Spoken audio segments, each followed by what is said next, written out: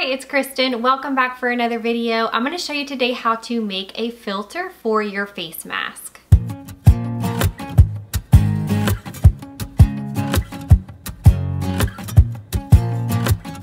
If you haven't seen them already, I have a few videos showing how to make an adult size face mask with a nose wire as well as a pocket to slide a filter in. And I also have a tutorial for a children's face mask.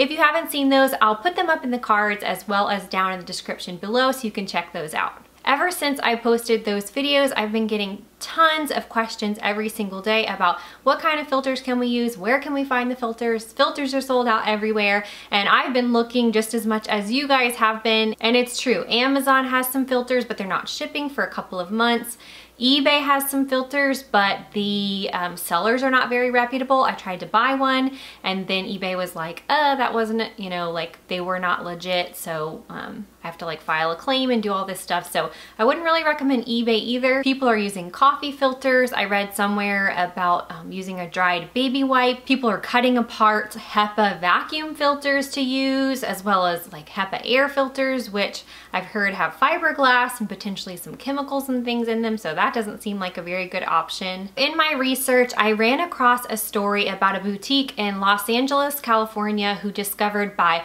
layering two blue shop towels, putting them inside of a nicely fitted mask that they could block up to 95% of the particles that they tested up to 0.3 microns, which is significantly better than just using a cotton mask all on its own. So they tested several brands and their favorite one was by Sellars. This is what it looks like.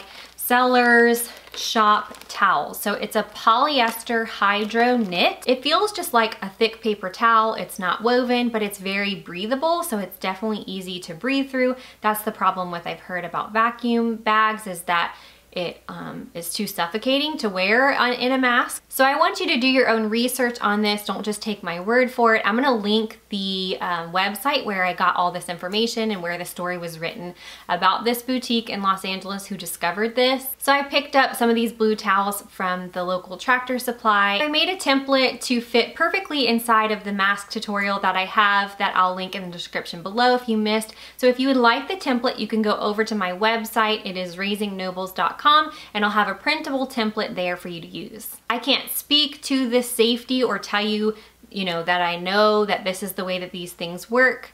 Certainly, if you need that protection, um, the N95 masks are the way to go, like for healthcare workers and things like that. And if you're at higher risk, you know, talk to your doctor, talk to a, you know, a professional and figure out what you need to do to protect yourself. I think that's everything, so let's just get right into the video.